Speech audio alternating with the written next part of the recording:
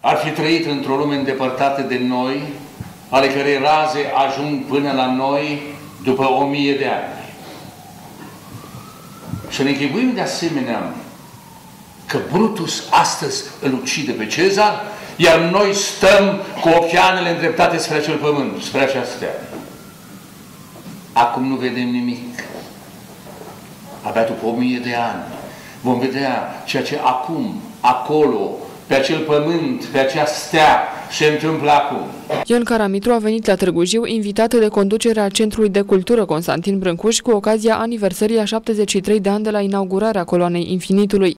Vin ca, vreau să spun ca la Meca, dacă vin ca la întoarcerea la origine.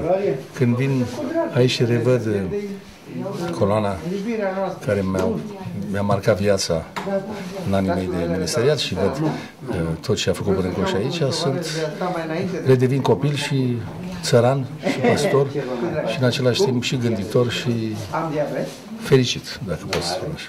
A fost o zi plină, a fost o zi absolut emoționantă, începând de la acea expoziție de fotografie a nașterii coloanei fără sfârșit și până la acest minunat spectacol de poezie minesceană trecut au ani și de muzică. Uh, au fost doi artiști extraordinari, Ion Caramitru și Aurelian Octav Popa.